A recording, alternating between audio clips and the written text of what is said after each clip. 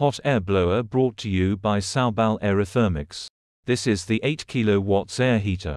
This is a centrifugal blower coupled with a half horse-powered motor and this is the control panel. The control panel consists of the main MCB, push buttons to switch on and off the heater, and the motor respectively as shown in the video.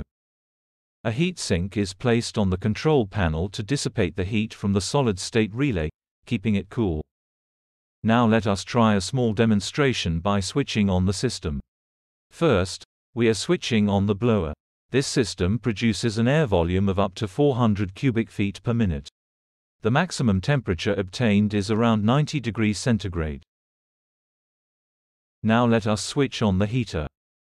As soon as the heater is switched on, we see a spike in temperature instantaneously from the ambient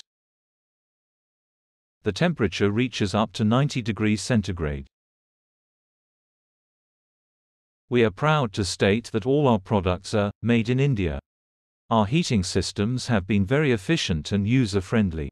As you can see, even at the maximum temperature the heater seems cold, ensuring no heat losses through conduction, and the entire electrical energy is converted to heat, displaying its maximum efficiency. The system comes with all the safety features ensuring proper running of the hot air blower. All the logics are embedded in the control panel for safe running of the system.